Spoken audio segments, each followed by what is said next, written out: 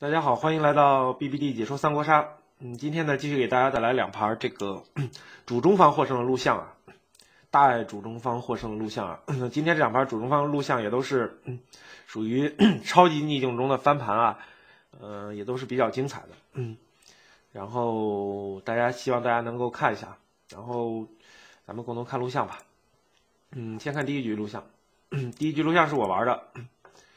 呃，当时呢，这个我就不太想玩主流主攻了，然后我就换 换了一下这个底下的非主流主攻，看看能不能换出一个比较合适。好，这个诸葛亮是我大爱的一个武将啊，嗯，他既然出来，现在基本上诸葛亮出来我就秒抓，无论身份，因为诸葛亮基本上是主中反内任何身份都适应的，他的强度谈不上神将，但是他的综合能力肯定是够格的。综综合能力肯定是这个中上等的武将啊。我们是进卡局啊，先分析一下场上武将吧。贴主位的赵云是反啊，而且赵云的是冲阵，是完克空城的。比如说诸葛亮留一张闪，他一冲，诸葛亮还是要掉血的。嗯，布列石肯定是反了。你你可以想一下，诸葛亮需要撸牌吗？诸葛亮本来自己调整好手牌都是可以空城的牌，或者说他已经空城了，你撸一张是想干嘛？对不对？荀攸的话也比较像反贼，就是想开 O E 打诸葛亮的。诸葛亮因为经常空城吧。其他的武将内奸的话，贾诩、孙策、刘封倒都还可以，这个包括韩当，其他武将都还可以。孙策的话基本上不是反就是内啊，不可能是忠臣啊，在这个位置当忠臣没有任何用处啊。也就是说，忠臣当时我看来就是贾诩、刘封、韩当这三个人都可以。关兴啊，关兴看一下拿什么牌，这张顺手要拿。由于我要干这个，因为我们是进卡局，这个赵云不一定有多少杀闪，我要干他，肯定起来起手要干他，所以我拿一个顺手一个九。嗯，这个当时我感觉孙策比较向内，然后看一下我当时的关心吧。如果不想给这个孙策决斗和桃子的话，就给他个减一就可以。如果是他怕反的话，怕他是反的话。当时我如果给他决斗，就是感觉他是内奸，所以给了他一个决斗。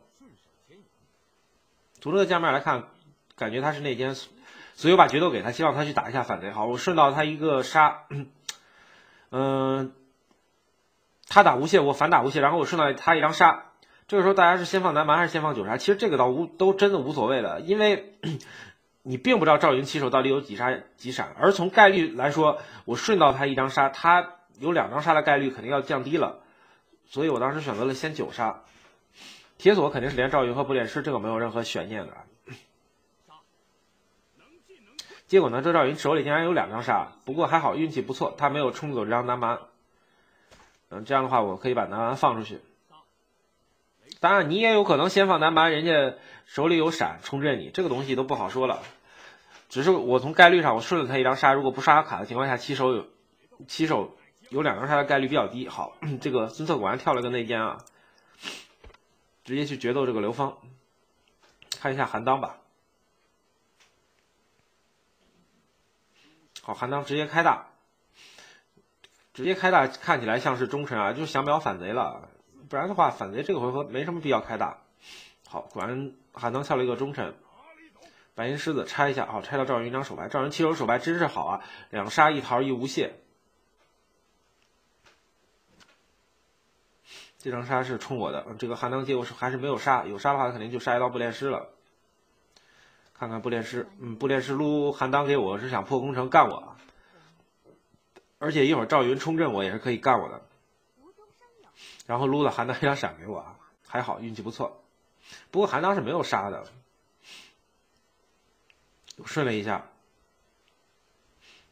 他可能去顺桃子了，感觉。韩当肯定没杀，有杀他刚才肯定要杀一刀不练师的，不可能不杀的。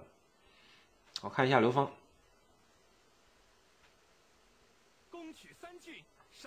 刘峰单单偷贾诩，那他是跳反了，因为在他眼里，不练师是反，荀攸、赵云这都是反，他就单偷了一下他，而且他也觉得偷我的闪没有意义。当时他没偷这个武器，我也很诧异。后来我发现他有借刀，那就是他手里有借刀，所以他没有偷武器，想用这个借刀。看一下贾诩，贾诩这个时候没有连我，肯定是跳了一个忠臣的身份，他是想坑一下荀攸，然后杀一刀荀攸，给荀攸贴了一个乐。当然，如果有反贼要看不明白，坑了荀攸是更好啊。如果看明白了，那也无无关大雅，对不对？连上这个，呃，韩当是方便一会儿我如果有这个，比如说如果我有距离，有有属性杀什么的，通过韩当来传导，这样是必中的。卖掉一个忠臣，打掉三个反贼，对不对？这是很赚很赚的。结果这个赵云他 把我给连上，他忘记解自己了，他去杀了一刀荀攸，他是完全没看到 谁在铁索上啊，他没看到三个反贼在铁索上啊，这是完全蒙圈了的节奏啊。这个牌南蛮肯定要拿的，拿一张南蛮，拿一张过差就可以了。然后把两个装备给了这个孙策，然后让这个给了韩当一张杀。因为内奸的话，给他两个装备，他愿意杀这个谁就愿意杀反贼就杀，不愿意杀他就挂两个装备过就可以，对不对？这是内奸的问题了。我拆赵云这个反贼打了一个无懈，好。内奸果然与我呃，如我预想，这个挂了两件装备过了啊，韩当这回合至少能砍出一张杀嘛，对吧？压一下赵云的血线，这张杀是我给他的，好，闪电挂起来也没有问题。这个肯定是把韩当的牌撸给赵云，啊，韩当估计起手是四张闪吧。攻取三郡，手到擒来这个刘峰把这个我手里的闪偷了，是可能是想这个啊，他手里是有南蛮，可能是想收了赵云，然后让这荀攸一会儿放 A O E 打我，大概是这个节奏。他也不希望我手里有一张闪，那他是把赵云收掉了，他可能会觉得贾诩如果动的话。有可能完杀掉赵云，这时候就是到了惊心动魄关键的时候了。看一看贾诩了，他把简一下掉了，下简一也可以，下雌雄也可以。其实下雌雄可能更好一点，嗯，因为毕竟有不练师嘛，可以调戏啊。看一看贾诩这回合他会选择怎么打，当然要还是要看他的手牌了。他选择杀了一刀。刘峰没有用逆，就是希望韩当如果不死的话，希望韩当可以用那个逆去杀他，因为韩当很可能断杀。荀攸杀一刀，开了一个万剑。开万剑也可以，如果你要是单想打死韩当，就可以直接决斗韩当。如果你是为了啊击打我和贾诩，那那你就开万剑。这个东西仁者见仁，智者见智了。当然了，你为了打我和贾诩的同时，肯定也打反贼，对不对？当然没有桃子，那边不知道有没有桃子，他没，反正他是没救，对吧？然后继续关心诸葛亮这个主公怎么说呢？他就是强度肯定够的，但是呢，他容易也是容易被针对，就是经常一堆破空城的武将就出现了。然后那个看一下关兴吧，啊，这个牌当时我就希望，我希望压一下荀攸的血线。然后让贾诩去完杀掉我，这个时候并不希望杀掉不练师，而且不练师，你看，他现在三手牌，之前他顺过韩当，他手里肯定有桃、有酒、有闪，杀他肯定杀不死，不如压一下荀攸的血线，一会儿找机会看看贾诩能不能完杀掉荀攸，这是唯一的机会。你杀不练师没有意义的，就是希望贾诩能完杀完杀掉荀攸，因为有贾诩这个忠臣嘛，他是可以切断不练师的桃子的，所以我当时拿了一张杀，拿了一个马。这个闪电就是关给荀攸的治愈牌，不给他杀。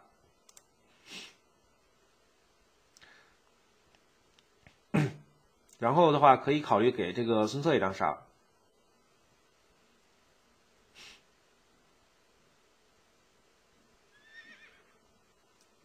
挂马杀一刀，那张闪电是他的，然后 给孙策一张杀。我是希望孙策能把这个荀攸的血线压下去。这个完杀掉这个荀攸啊，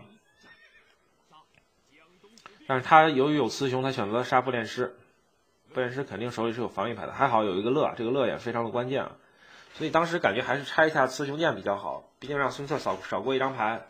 好，不练师扔桃子了，这说明手里肯定是桃啊，不是少，基本上就是桃了。好，刘峰继续偷，把这个最后一张手牌都偷掉。然后杀一刀贾诩，这个时候真是生死存亡一瞬间啊！场上这个这个很多人都残血了，看一看贾诩这回合怎么动吧。好，摸到一个无中，现在是牌基本上我看一下，这个刘峰用青钢剑和冰凉打出去。嗯，荀攸手里是闪电，这个布连师手里基本上是个桃儿，刘峰手里不好说，杀闪都有可能，应该不是杀，感觉如果是杀，他单出一张杀，他手里留了留两张手牌更好，杀肯定不是了，是不是闪就不知道了，对吧？这个时候他选择了杀了一刀，但是我也在铁锁上，但是他肯定不能开大，看看布列师会不会选择自杀。当然，这个时候布列师有两种选择，可以选择自杀保荀攸。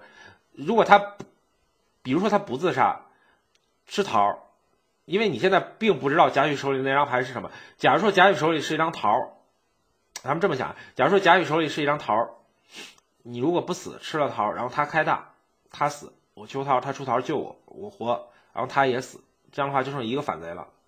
这是一种思路。还有一种思路就是他直接死了，强保荀攸，然后因为他他死了，他给荀攸三张牌，再加上补血，他开大肯定是带不走荀攸的，这是两种思路，看他怎么打。当时这个反正他们也都是有争议的，最后布列师选择了死亡，弃掉了桃，直接给荀攸补了两张牌。当然了，当时谁也不知道贾诩手里是不是桃，贾诩手里如果是桃，布列师强行不死，那个他一开大，场上就只剩刘峰一个人了。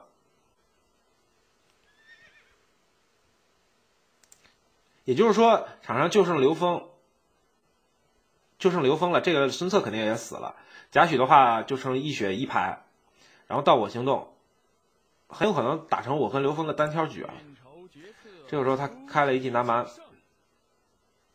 贾诩吃桃了，应该手里肯定是有桃的，不然他不可能吃桃。吃桃的话，要不然他吃桃我是必死的。这个因为荀攸肯定能开出一记 A O E 来，孙策已经死了。好，他手里是一张杀。由于他开这个是，由于他开这个是就是无色的，所以贾诩也需要出杀的。那么，啊，我还猜错了，他手里竟然真是一张杀。其实他有丈八的话，我感觉单出一张杀，手里留两张牌比较好。毕竟手牌多的话，威慑更大一点。啊，这个时候关兴就很屌了啊，手里这有古定刀有杀，肯定拿古定刀和杀，然后再拿铁锁过牌找桃子。火攻就拉下就可以了，这就很简单了。当时那个点，反正。大家就是自己判断一下吧，人真是仁者见仁，智者见智的事情。你说现在这种局好还是单挑局好，也不好说。只是我正好关心这有一把古钉刀能带走荀攸，对吧？这荀攸肯定死了，还是打的蛮惊心动魄的。不过贾诩最后一张牌有可能是桃子，因为他。收掉布列师以后，自己吃了一个桃，还有一个桃，有两张桃。收三张牌，两张桃的概率并不是很大。好，这个时候我就赶紧尽快尽快恢复啊，恢复起来才是王道。是刘九过了，毕竟还有空城啊，没有空城我这就死定了。他一偷一丈八就拍死了。由于有空城，他肯定不会偷我的手牌，偷我手牌他杀他就杀不了我了，他只能赌一下，他把古钉刀偷掉。嗯，这时候也是只能赌了，看看能不能带我飞。嗯，还好我有一口酒。这样的话，基本上应该可以赢了。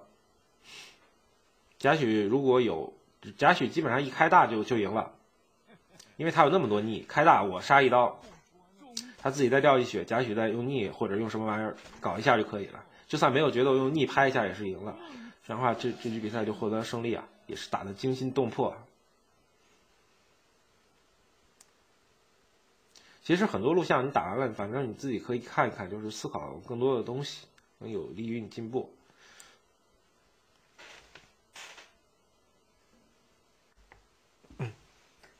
我们再看第二局比赛啊，第二局比赛也是也是惊心动魄啊，也是逆境中的翻盘啊，非常的精彩，大家共同看一下。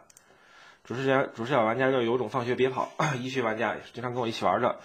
这个主攻选择孙策主攻是八号位置忠臣，这里边这些选项你你一看肯定是李典了，非常非常好啊。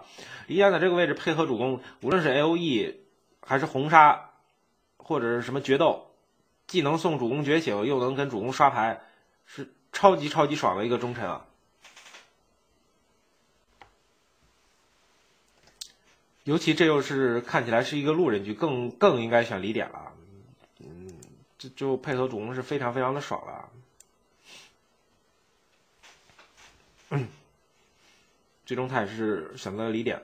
好看一下场上的选将，啊，这个乍一看这这个比较像内奸，这个貂蝉貂蝉在孙策局这个问题，我真的不想再多说了。反正，你你要反贼非想选，你就选吧。我也真的不想说什么。如果大家有兴趣，这个就是详细知道为什么不能选，我有一期这个视频叫这个什么呃谜一样的围观和速推，大家可以搜一下这个标题去看一下，那里面我详细讲过。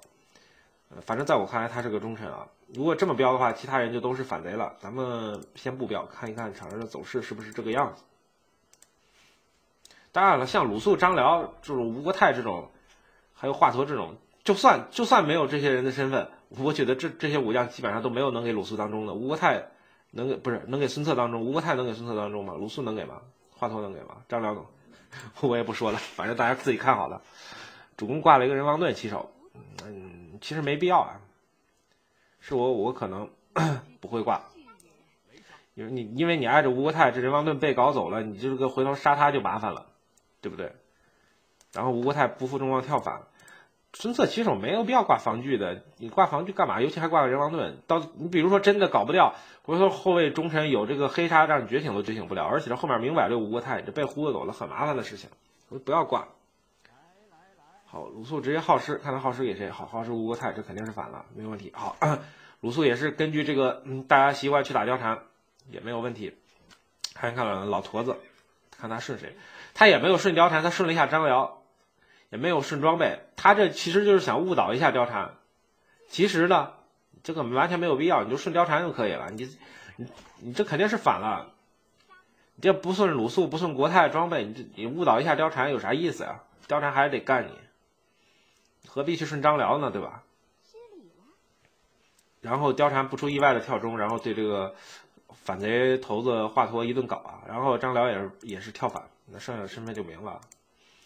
这个貂蝉基本上处在反贼窝里，估计很快就要挂掉了。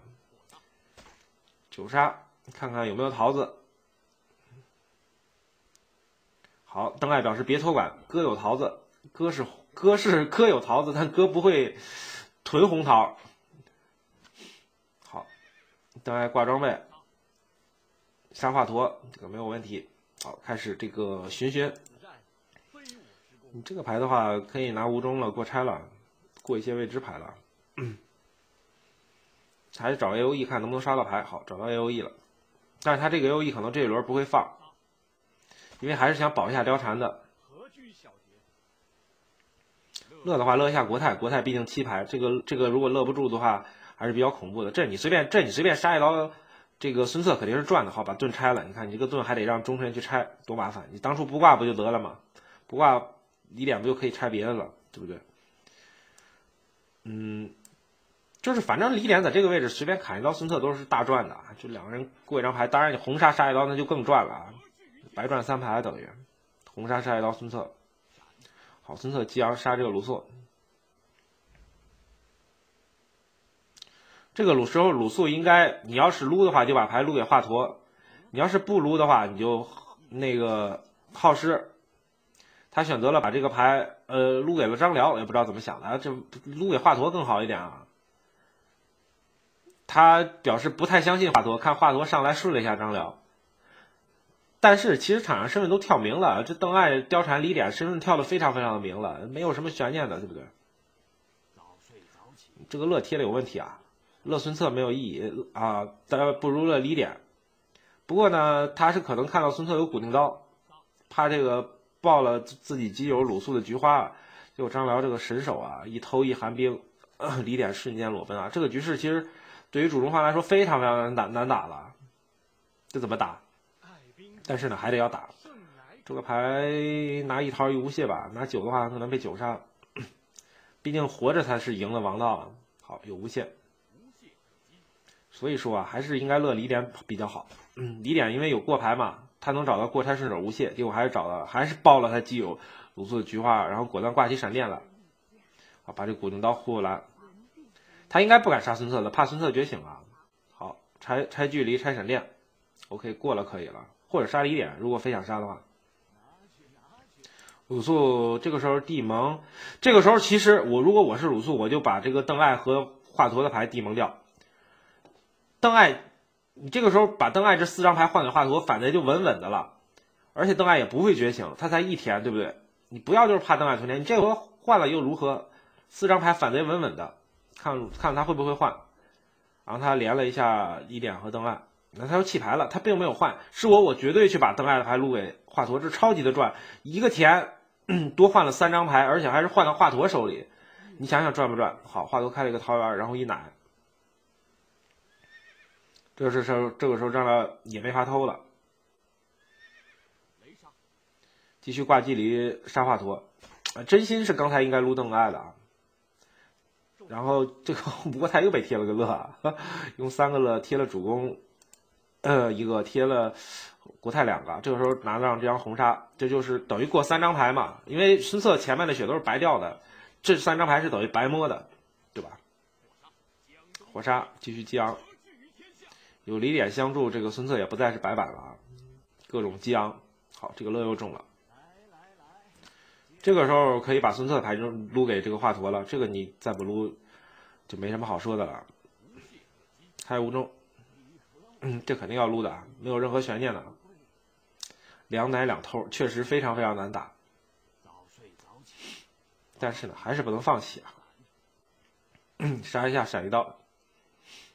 应该是杀一刀闪一下，然后张辽再一偷，大家又空城了。哎呦天哪，只能靠裸摸的牌了。当然了，邓艾有一定存货，之前鲁肃也不给他撸空，这就比较蛋疼了。杀一刀，看看这回合有没有机会。好好好，这个牌就比较屌了。南蛮决斗全是刷牌的利器，而且很有可能送孙策觉醒。现在大家注意一下，反贼。手牌量基本上非常充足，张辽满牌，华佗满牌，主这个李典和孙策都是裸奔状态啊，就看这一回合了，肯定是南南蛮和决斗了，没有什么悬念。南蛮一起来刷起牌来，OK，瞬间可以把牌啊刷到爆多啊！这时候就要无脑 无脑忘戏了，这时候因为要过牌，必须帮助这个孙策觉醒了，要不然没有机会的。好的，OK。华佗有杀出杀，这时候反贼有杀一定要出杀，不要让他再过牌了。邓艾的话，他可以选择故意让这个李典过一下牌，当然他也不一定有杀。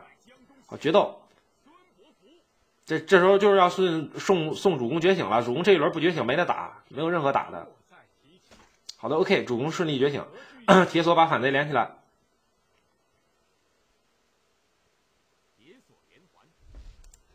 从两个人裸奔状态打到现在。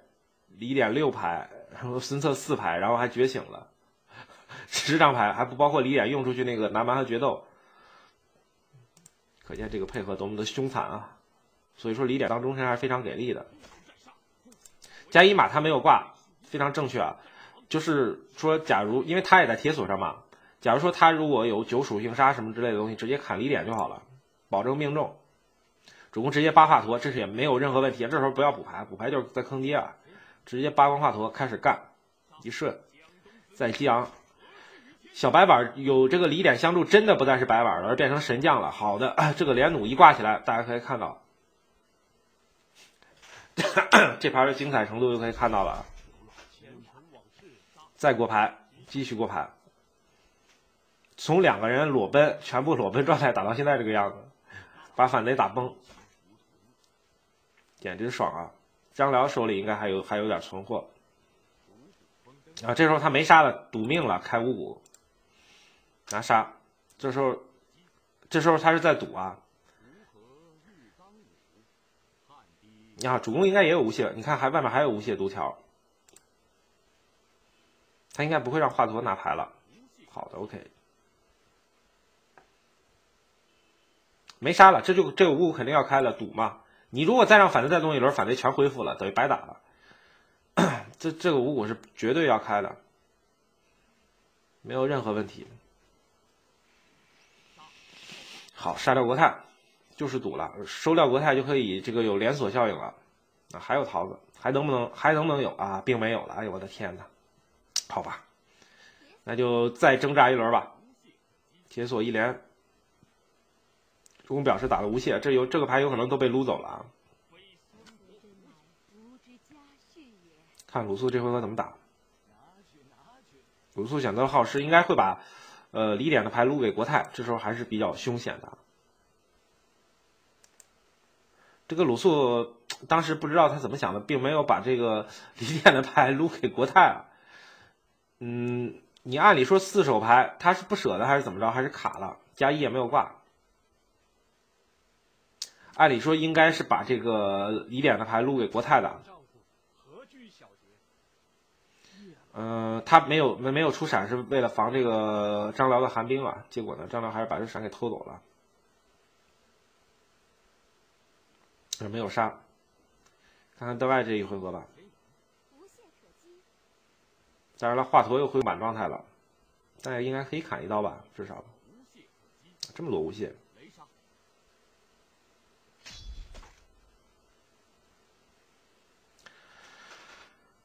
虽然说这个鲁肃手残了，但是这盘主中这个李典和孙策的该打的输出也已经全部都打出来了，这牌只能拿两个桃子了，然后开万箭，继续刷起来，非常的嗨，不给国泰过牌了，一会儿希望这个孙策秒掉国泰。这回合由于孙策觉醒了，没有盲目过牌，可以让李那可以让张辽过一张，因为张辽在最后无所谓了。这个就比较凶残了，大家看到没有？这一下你你打的过程中，你在游戏过程中能不能想到？不要不要蒙圈的想不到啊！这一下打的非常非常的好，因为手里全是桃子，把这些桃子全部转化成牌，让孙策去干反贼。这下杀的非常的好啊，非常非常漂亮。大家打的过程中，继续把这个桃子全转化成牌，非常的亮。这时候需要的是牌，而不是血。只要呃孙策有牌，只要孙策有牌推掉反贼就 OK。好的，不要贪桃子，把桃子全部转化成牌，非常非常的漂亮。孙策这一波打出去就 OK 了。我想，如果说可能你在实战过程中十秒钟，你能不能想到这一点？把桃子全转化成牌。假如说你想不到，比如说就单凭孙策闷一张牌，也许还真的带不走反贼。这一下就稳稳的了。孙策怂了，其实按理说这个应该继续扒华佗的，应该继续把华佗扒光的啊，没有必要去补牌了。把华佗扒光，直接砍过去了。大家要，其实通过最后这一下李典出牌，大家。主要是让大家明白，就是什么时候你要懂得自己桃子，呃，能转化成牌的时候，一定要转化成牌；而需要留桃子的时候，你才要留桃子，就是吃桃保持血量。而这个时候明显是需要孙策输出了，所以说什么桃子都是浮云了，转化成牌才是王道啊！反正我是给这个李典最后这一下把桃子转化成孙策牌点个赞啊！这一下什么内奸什么反贼啊，通通带走啊！管你们什么，对不对？你这收了反贼，再收出桃子，不是更容易的事情吗？继续突突过去，直接杀掉张辽的话，如果能干死邓艾，直接把邓艾也带走了，就 OK 了。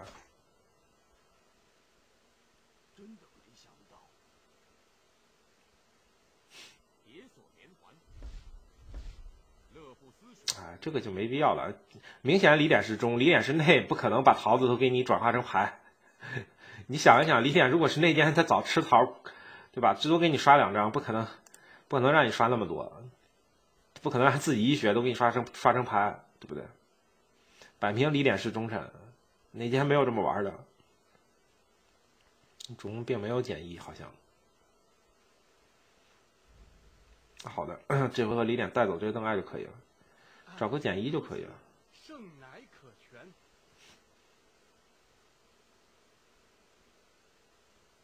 然后吴中和杀，怕断杀了。但是并没有距离，唉，惨啊！这叫一个惨啊！主公毕竟还是相信这个李典啊。偏心不偏心，这个都很明显了。这个邓艾悲剧的，各种风涛啊！主公这时候直接剁掉了，直接剁掉就对了。这时候你再看不出谁是忠臣，这就瞎了啊！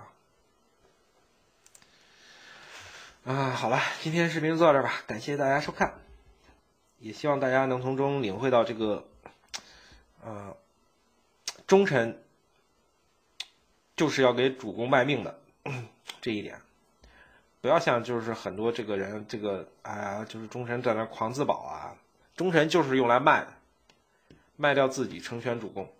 OK，大家再见了，拜拜。